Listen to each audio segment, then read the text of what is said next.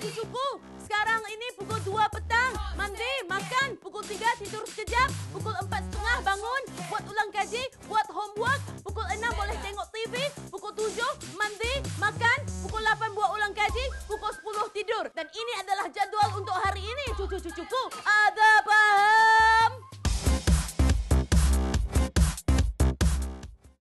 Jadi.